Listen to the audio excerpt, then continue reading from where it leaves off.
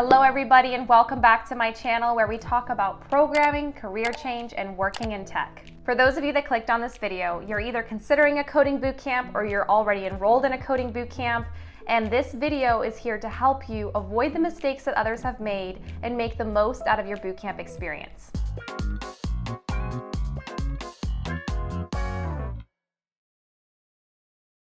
I have come up with this list of mistakes based off my own prior bootcamp experience, as well as working as a bootcamp mentor for the last couple of years. So without further ado, let's get right to it. Mistake number one is not utilizing all your bootcamp resources to their full advantage. Most likely you paid a pretty penny to be enrolled into this bootcamp program, and you probably have some requirements in terms of coursework and assignments that you have to complete. However, most bootcamps have either one-on-one mentorship or office hours that typically aren't mandatory.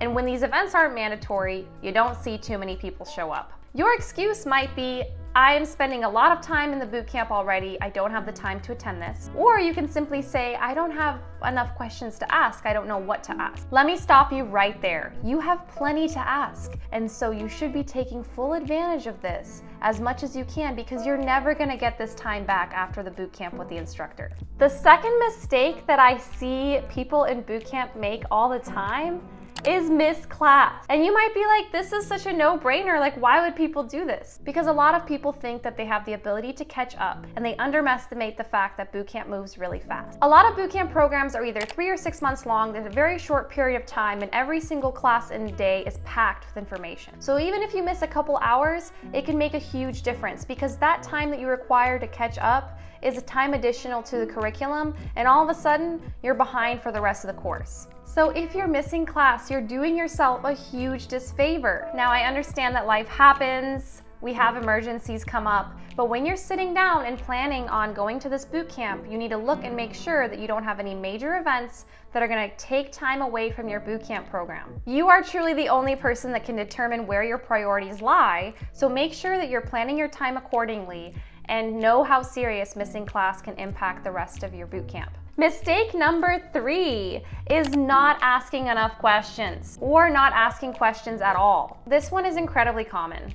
And it a lot of times comes from like a professor in the class talking about something and nobody is asking questions, so you might assume, well, everybody gets it. Maybe I just don't get it. Probably you're not the only one. Other people probably also aren't speaking up. So by you stepping up and asking a question, you're actually probably gonna help at least a couple people. Remember, your goal is to be fully prepared for getting a job after your boot camp. So you wanna make sure that you understand everything that you're doing and you don't wanna have confusion, so you better ask those questions. Mistake number four, isolating yourself and comparing yourself to others. I'm gonna tell you to stop comparing yourself to others. And I know that's really easily said and really challenging to do because we always compare ourselves to others. Especially in boot camp, it's really easy because you have those couple students that are excelling in everything, they finish projects early, and it just feels like they just easily get everything. And then immediately you're like, I'm not like them. And you start to compare. I know it happens. So I'm gonna challenge you that every time you start to compare yourself to those kids in the class, what you're gonna do is you're going to reach out to them and you're gonna ask them a question or you're gonna ask them to help you because maybe you haven't finished your project, but they have. And so you can ask for their help and you're going to learn a lot from them.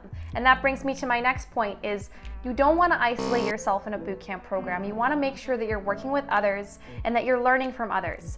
That means that if you don't understand something, reach out to your classmates. Or if you see someone else struggling, help them out. By helping someone out with their problems, you are most likely also helping yourself because you're helping solidify those concepts in your brain. Okay, we are on to concept number five, and this one is by far the most important one. You need to remember your ultimate goal. For most of you, the ultimate goal with the boot camp is to get a job, right?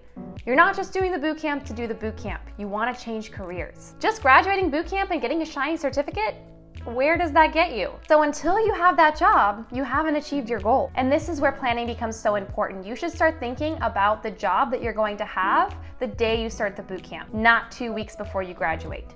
you should start doing the research of, okay, in the syllabus, at what point have I learned enough skills to where I could be marketable on the job market? Then you can look at job posts and see what is relevant in the area that you currently want to live in. These are all things that you need to start consider ahead of time. I find a lot of students get caught up with assignment grades, with how difficult a boot camp is, and sometimes they forget about that main goal your grades are, in the grand scheme of things, not gonna matter. It's you solidifying those concepts, you gaining the right skill set, and getting that job. The better you plan for exactly what you're going to do, the more prepared you are actually going to be to graduate the bootcamp and get that job. Hopefully hearing this information is really going to help you with your bootcamp experience and not making those same mistakes. If you have any other mistakes that you personally feel like you made during your bootcamp experience, feel free to leave them down in the comments, as well as any other questions that you have related to bootcamp. In my next video, I'm actually going to be talking about how to choose a good coding bootcamp. So if you want to hear about that, please subscribe to my channel and make sure to like this video.